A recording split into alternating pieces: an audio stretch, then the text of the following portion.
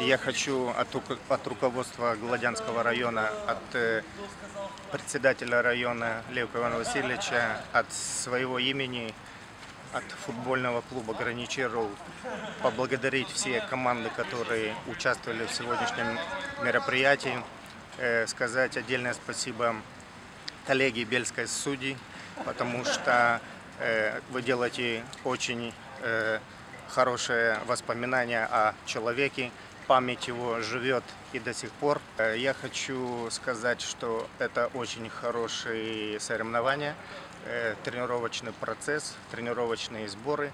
Команда подошла э, в хорошем физическом, техническом плане.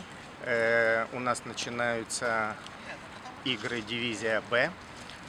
Хочу сказать, что команда Граничеру Гладяна занимает первое место в дивизии Б. И, пользуясь случаем, опять же, спасибо всем, которые сделали это мероприятие. Футбольного клуба Граничеру э, есть история.